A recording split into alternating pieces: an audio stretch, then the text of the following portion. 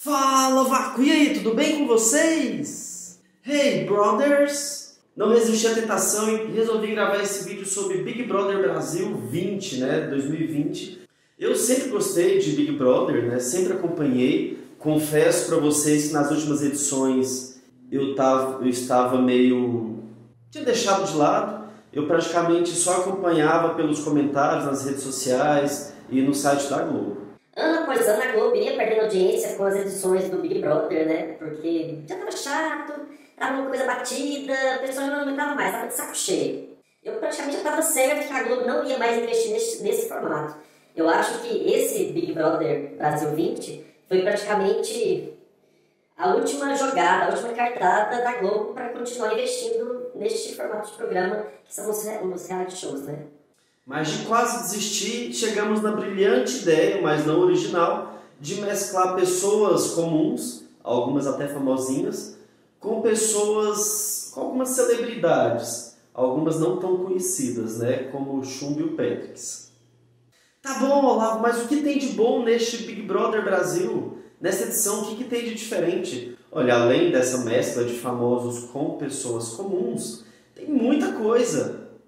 Já tivemos macho hétero escroto mostrando por que esse tipo de gente é um dos problemas da nossa sociedade atual. Já tivemos macho hétero escroto fingindo que é príncipe cantado, que também a gente encontra bastante no mundo atual. Já tivemos fadas sensatas faltando sensatez. Já tivemos choros nacionais, ódios nacionais, herói virando vilão, vilão virando herói, dancinha, vômito, bebedeira, choradeira, alguns crimes tensos também, né? Enfim, diversas outras coisas. E a gente ainda nem chegou na metade. Eu acredito que não. É, eu acredito que não, porque a gente está gravando esse vídeo praticamente no Dia da Mulher. Então, já aproveitando, feliz Dia da Mulher para todas as mulheres. Voltando ao BBB, não existe outro assunto mais comentado nas redes sociais, na mídia, que o Big Brother Brasil. Coronavírus chegou no Brasil, mas o Prior é meio grosseiro. O dólar não para de subir. E o Daniel, mas oxente, oxente. O Bolsonaro falou mais uma merda, mas você viu a Boca Rosa? Ó, oh, e Boca Rosa Bianca Andrade, essa me surpreendeu. Era uma pessoa que eu já tinha ouvido falar, mas não conhecia, não acompanhava todo o trabalho e construí um carinho especial por ela pelo Big Brother. Ela era, ela era praticamente a nossa principal celebrity dentro do nosso reality. Mas já saiu, né? Aquela que construiu um império da beleza fora da casa, né? Com toda a sua trajetória é, nas redes sociais, como blogueira, depois como empresária. Tinha diversos desafetos fora da casa também, construiu alguns dentro da casa. Mas para mim, ela era a melhor participante dessa edição. Por que era a melhor participante? Ah, gente, ela se entregou, ela se jogou, ela jogou mesmo, né? Vomitou, mijou na boca, como ela mesma disse.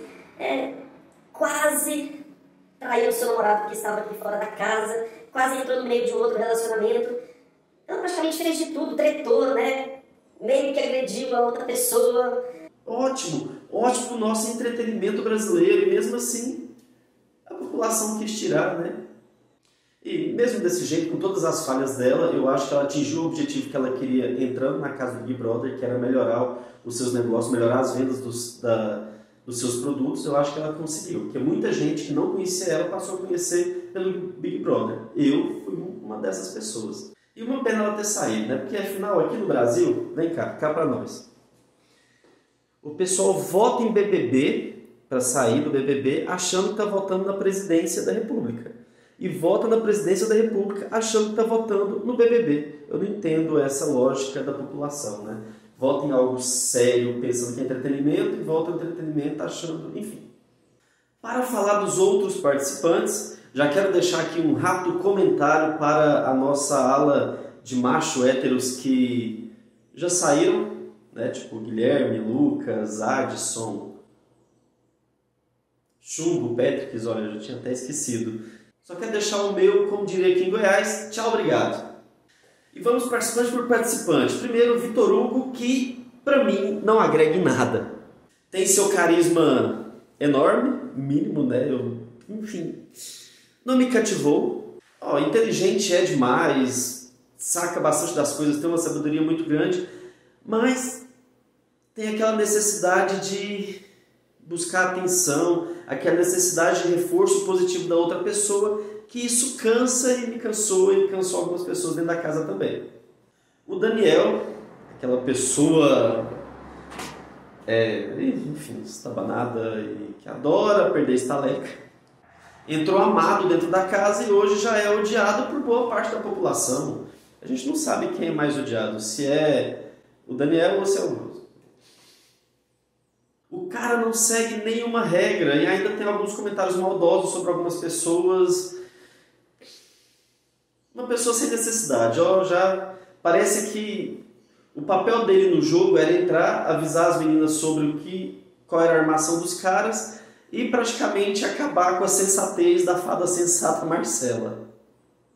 E sobre a Marcela, cara, meus amigos do vácuo, que decepção. Você se decepcionou também? Eu me decepcionei. Foi uma das pessoas que começava, comecei a seguir ela quando ela foi anunciada. Nossa, passei a acompanhar todo o conteúdo dela e. Decepção total. Mas isso decepciona, né? Ninguém é perfeito nesse mundo. Nem a Marcela. Sei lá, hoje em dia, cada comentário que ela solta e faz aquelas brincadeiras. Tipo, só tô brincando. Tipo, tal pessoa é assim, tal pessoa é desse jeito. Olha, não tem nem coragem de falar e assumir, né? Que está falando. Então, acabou a sensatez. Ive Mari, Ive e a Mari, coloquei no mesmo pacote porque para mim está fazendo hora extra no programa. Uma pessoa, são pessoas que, ah, bacana, bonitas, mas parece que não estão se entregando como deveria, né? A Ive foi indicar algumas pessoas para o quarto branco, quase derramou em lágrima. E a Mari, em especial, cheguei a acompanhar ela no Pânico, não gostava muito, mas achei que ela pudesse causar um pouco mais no programa, né? E ela está demonstrando ser uma pessoa muito tímida, muito retraída, muito na dela, e ela não passava essa imagem no outro programa que ela participava. Então a decepção em cima dela é mais nisso. A Flyslane, quando apresentaram o nome de todos os participantes, olhei a Flyslane e pensei assim: campeã, já ganhou, olha o jeito dessa menina, simples e tal, animada, pra frente, espontânea, já ganhou praticamente a nossa campeã toda autêntica. E assim, temos diversas cantoras na casa, né? Mas para mim a Flyslane é que tem uma voz mais bonita, que canta melhor. Também acompanho ela na dupla que ela tem lá, acho que é Lani e Mara. Mas eu acho que o velório, quando ela foi pro paredão, né, teve aquela cena do velório da Flyslane e outras cenas assim bem renascentistas. Parece que fez ela morrer. Morreu. Flyslane morreu e tá morreu. Decepção também. E a Gabi? Ah, Gabi, assim, tem uma energia tão boa, eu sinto uma energia tão boa nessa menina, como toda pessoa de Sagitário que é, né? E a Gabi é de Sagitário, tem aquela coisa animada. Mas parece que o seu relacionamento com o Guilherme foi deixando apagada, apagada, apagada. E espero que ela se reacenda agora que o Guilherme saiu. Queremos a animação da Gabi. Agora falando sobre a super capricorniana e estratégia e marqueteira da casa, né, Manu Gavassi, Manuela Gavassi, ela praticamente me surpreendeu com tudo que ela deixou preparado, toda a estratégia que ela montou em cima da sua imagem na casa e a sua imagem mobilizando toda a sua fanbase de fora. Fenomenal. Parabéns. Case de sucesso. Né? Vamos ver. Eu praticamente já virei fã na primeira semana. Confesso também que eu não gostava muito da Manu Gavassi antes. Tinha uma música. Ai, que susto!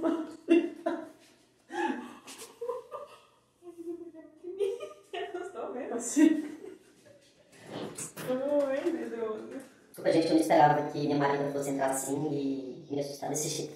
Voltando, eu tava falando sobre Manu Gavassi, né mesmo? Então, acho que ela tinha umas músicas legais, mas faltava carisma. E foi nesse sem carisma que, sei lá, durante o programa eu fui lembrando, assim, poxa, agora eu entendo por que de fato eu tinha preguiça da Manu Gavassi.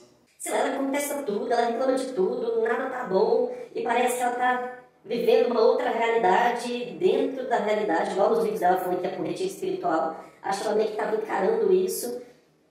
E parece que ela não leva o programa a sério também, fica fazendo brincadeira com tudo. Ela é tipo aquela a Katniss Everdeen da, dos Jogos Vorazes, né? Que praticamente acabou com toda aquela situação, ela contesta o próprio programa, contesta, contesta tudo. Apesar que nessa última semana que ela foi pro quarto branco, praticamente ela se entregou pro jogo mesmo, apertou o botão, pá! Depois tretou com o Vitor Hugo e parece que agora ressurgiu Manu Gavassi. Vamos ver as cenas dos próximos capítulos, como ela vai seguir essa vida dela. Outra que eu tinha preguiça antes de entrar na casa é a nossa Ariana Rafa Kalimann. E assim, meus amigos do Vácuo, por que, que eu tinha preguiça dela? Ela é daqui, da região, é, viveu muito tempo em Goiânia, né? Hoje eu não sei onde ela mora, mas eu sei que ela já viveu aqui na região. E eu tenho uma cer um certo, não ranço, mas uma preguiça também de pessoas que pregam uma certa santidade. Ah, eu sou isso, tipo, que é boa demais. Pode até ser, sabe? Mas eu fico com o meu pé atrás. Mas isso é problema meu, né? Tipo, o que eu penso é problema meu. Pessoa que prega santidade sendo ariana, difícil, né? Difícil. A gente que fala de signo, a gente sabe que é quase impossível. Mas sei lá, independente de tudo isso, vamos falar sério aqui agora.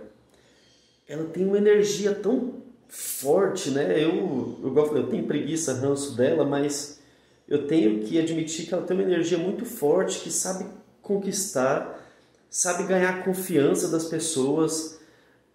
E, e eu evito, juro para vocês que eu evito olhar, todo, quando eu estou assistindo o programa, olhar diretamente nos olhos dela. Aquele típico olhar de Ariana que penetra, vai destruindo tudo por dentro. Então eu evito. Não sei nem o que eu falo sobre a, a Rafa Kalimann, porque eu evito olhar para ela por motivos de medo de Ariana. Thelminha, né? A nossa médica que samba super bem e que para mim, não sei se você vai concordar ou não, é a mais jogadora de toda a edição. Como assim? A Thelma nem fala muito, a Thelma nem faz muita, não se envolve em treta, gente. Observadora, inteligente, puta jogadora. Super estratégica, né? Ela não, não, não vai com a massa, ela vai certeira em algumas pessoas, mantendo a convicção dela. Pode. Ela só não pode beber. Quando ela bebe, ela, ela encarna outro personagem que ela tem, eu esqueci o nome dela agora, dessa outra personagem.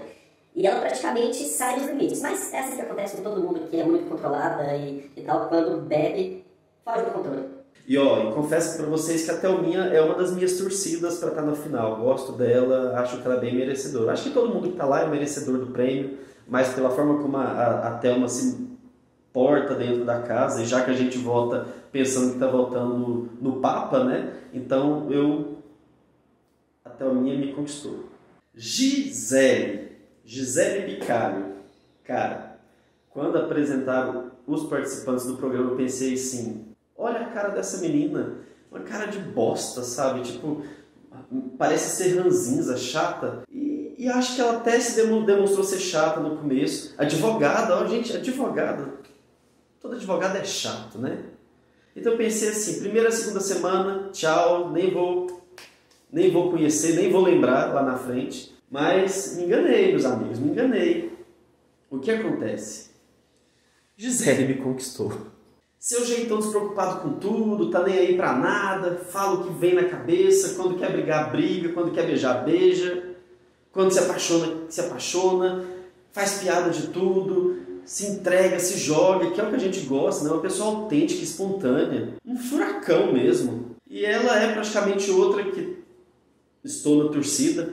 No começo, confesso a vocês que a minha torcida era mais para Marcela, mas né, a fala sensata acabou e parece que toda aquela energia que eu tinha jogado na Marcela eu dividi entre a Thelma e a Gisele. Agora vamos falar rápido, eu juro que esse vídeo já está enorme, muito mais do que eu gostaria que tivesse. Vamos falar dos, do que para mim são os três protagonistas. Na verdade, dois protagonistas e um mais coadjuvante. Primeiro, o Babu, o tipo amigo ogrão, aquele amigo urso, né, com abraço aconchegante, um tiozão chato, ranzinza, só que amoroso, aquela pessoa sem paciência, mas com bastante humildade e sensatez, que na casa está faltando para algumas fadas. Ele é praticamente o nosso ogro sensato, ou pode ser urso sensato também. Esse é o Babu, um brasileiro, né? Tem diversos defeitos, mas não foge de assumir esses defeitos, não foge de assumir essas coisas que ele tem como frágil dentro dele. E ele normalmente reclama porque ele tem que reclamar. Eu que sou uma pessoa reclamona, né? Eu gosto de reclamar de tudo, entendo muito bem o Babu.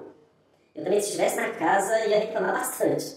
Outra coisa que foi cativando e criando um laço maior com o Babu, além de tudo que ele fala, de toda a trajetória dele de vida, que me fez gostar mais dele, essa amizade que ele tem tipo de pai e filho com o Prior, né? Por pior que, por pior que você não goste do Prior, é, essa amizade dos dois é bacana de se ver. A amizade de irmão que ele tem com a Thelminha, que acho bacana dos dois, e, e toda a trajetória dos dois também. Para mim é tudo super da hora, toda essa situação que envolve o Babu. E, como eu já disse, para mim, ele tem que estar no final, gosto dele. Você vê praticamente até agora, eu já falei de três rotinas minhas, que é a Thelma, a Gisele e o Babu, são as pessoas que eu gosto. E se pudesse escolher uma final, três pessoas, seria os três. E para finalizar o nosso vídeo, vamos falar do nosso clássico, da nossa rivalidade, do nosso Grenal do Big Brother Brasil, do nosso Brasil e Argentina do BBB, BBB 20, né? que é praticamente Prior versus Pyong. Já adianto que eu tenho ranço dos dois. Dos dois, dos dois, dos dois. Não gosto, tenho preguiça. Nossa, do hipnólogo, né? Eu já não gostava dele muito antes da casa, por tentar ver os conteúdos acho ele um pouco forçado e. Só isso. Só que temos que reconhecer que ele sabe envolver as pessoas. Talvez se eu estivesse lá dentro eu já teria caído na hipnose dele também, assim como diversas pessoas. E é um cara super inteligente, estratégico, sabe ver o jogo, parece que ele tem uma sensibilidade para entender o que a população está pensando. Lógico, ele estudou demais todas as edições, então é um cara muito esperto. Ele sabe praticamente todos os passos e até como é o caminho da imagem de cada um dentro do programa. É um cara muito estrategista. Como diria Manu Gavassi, é um jogador de RPG dentro do Big Brother. Contrapondo tudo isso, temos o nosso jogador de FIFA, né? jogador de, de futebol digital, como diria Manu Gavassi, porque o Prior é esse, é praticamente o nosso jogador kamikaze, aquele que encara aquele embate como o maior de todos, né? Tipo, só importa aquela partida, não pensa lá na frente. Mas confesso para vocês também que apesar do Prior tá no começo se envolveu com todos os machos que já saíram e tudo mais, eu vejo no Prior que ele tem um coração bom. Eu vejo que ele está tentando aprender. Eu não sei se é porque isso é real ou porque ele é a cara do meu irmão. Ele é a cara, parece demais com o meu irmão. Então, eu meio que criei esse laço sentimental por ele, porque, poxa, meu irmão faz tal tipo de coisa, mas é assim, ele pensa assado e tal. Então, meio que eu dou uma passada de pano pro Prior por ele parecer bastante me lembrar o meu irmão. Cria esse carinho. Desculpa, gente, mas é isso, né? Esse sou eu, não vou ser outra pessoa aqui. Mas nessa rivalidade Pyong versus Prior, quem ganha é nosso entretenimento brasileiro. Quem ganha somos nós, espectadores, que ficamos ansiosos. Na verdade, não, a gente perde, porque a gente perde noites de sono, a gente perde bastante coisa, porque a gente fica assistindo o BBB o tempo inteiro. Mas a gente ganha muita coisa também, né? A gente ganha animação, a gente para de pensar nos problemas da sociedade, a gente só pensa nos problemas da casa. E, e fica mais animado. Então, dona Rede Globo, que você trate de articular bem esse jogo. Ixi, a pessoa resolveu ligar. Olha só. A pessoa ligando assim, ó, por nada. Mas tudo bem.